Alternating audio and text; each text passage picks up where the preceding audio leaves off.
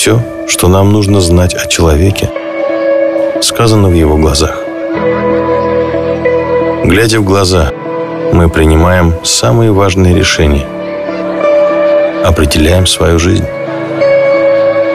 Глядя в глаза, мы узнаем друг друга. Говорим о самом важном. Глядя в глаза, так Банк Возрождения работает с вами. Партнерские отношения. Открытый взгляд. Возрождение. Банк, который всегда с тобой.